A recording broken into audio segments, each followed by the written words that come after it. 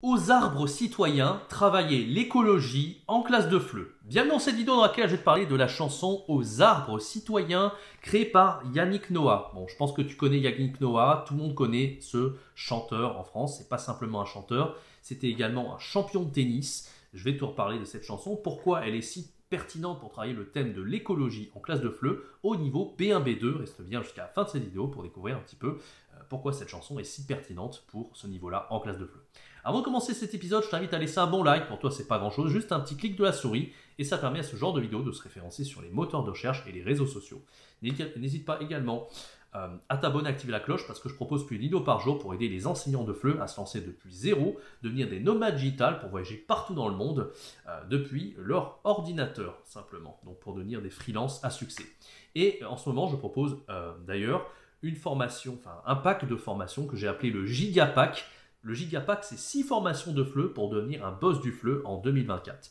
Ce pack, il contient 6 formations, donc YouTube de A à Z, euh, ChatGPT Pro, C2 en anglais, créer son site web FLE, enseigner en groupe et les 100 cours de FLE préparés.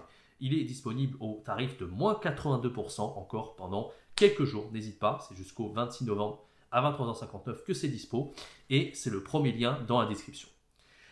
Alors aux arbres citoyens chanté par Yannick Noah, que dire de Yannick Noah, un excellent chanteur. Moi, j'aimais beaucoup ses chansons. J'écoutais beaucoup, beaucoup. Moi, je suis plus chanson. Euh, en vrai, chez beau être prof de fleu, j'écoute pas tant que ça de musique en français. Moi, j'écoute énormément de musique en anglais, en fait, comme beaucoup de gens. Mais c'est vrai qu'il y a certains chanteurs que j'aime particulièrement, notamment Matt Pokora, Calogero. Yannick Noah, ça fait partie des chanteurs que j'aime bien. Je trouve qu'il a une bonne. Il a un bon style, voilà, tout simplement. Il avait fait pas mal de chansons, donc il avait fait notamment Saga Africa, très connu. Il avait fait aussi euh, Oz, Oz, ose, ose. J'aimais bien celle-là. Et il en avait fait une aussi en 2006, je me rappelle très bien quand elle était sortie, c'est euh, Aux arbres citoyens. Bien entendu, tu l'auras compris, ça fait un parallèle avec la devise française euh, Aux arbres citoyens, avec la, euh, la Marseillaise, bien sûr. Donc, ça, c'est déjà quelque chose que tu peux traiter en classe de fleu. Pourquoi la chanson s'appelle Aux arbres citoyens Et voir si les apprenants connaissent la Marseillaise, en fait, ce Aux armes citoyens qui est si populaire. Et faire le lien historique avec la Révolution de 1789. Donc c'est déjà un truc que tu peux faire avec tes apprenants. Bien entendu, le clip, il est bien illustré, tu as des images qui mettent en avant le fait que la planète va mal. Et déjà en 2006, c'était le cas. Alors ne parlons pas en 2023, ça va être encore pire. Donc tu peux débattre sur ce terme-là. C'est vraiment une, chanson idéale en fait pour débattre en classe de fleu. C'est pas forcément les paroles que tu vas forcément. Euh, tu peux traiter les paroles bien entendu, hein, didactiser tout ça. Mais euh, le but, c'est surtout aussi de trouver des questions pour débattre par rapport à ça. Donc tu n'as qu'une seule chose à faire, c'est prendre ChatGPT, de copier les paroles, de dire voilà la chanson pour débattre en classe de fleu, je voudrais débattre au niveau B1, B2, et ChatGPT va te trouver des questions, tout simplement pour débattre. Ça va vraiment être très très très très simple. Voilà. Donc voilà, voilà.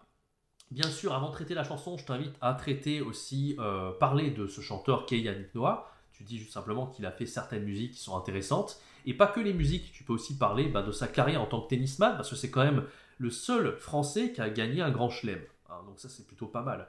Même si tu n'es pas passionné de tennis, si tu vois que tes apprenants, ils aiment le sport en général, tu peux faire le parallèle avec le thème du sport que tu as déjà traité en classe de fleu et parler de la carrière de Yannick Noah comme champion de tennis. Notamment ce style qu'il avait de jouer pieds nus. C'était un des rares joueurs qui jouait complètement pieds nus, vraiment un peu à l'aise et tout, un peu à l'africaine de ça. Donc ça c'est plutôt intéressant. Et puis ça offre une diversité parce que la classe de fleu, c'est pas simplement parler de la France. On peut parler de la Belgique, on peut parler de l'Afrique, on peut parler de la Suisse, ça, c'est quelque chose d'assez intéressant.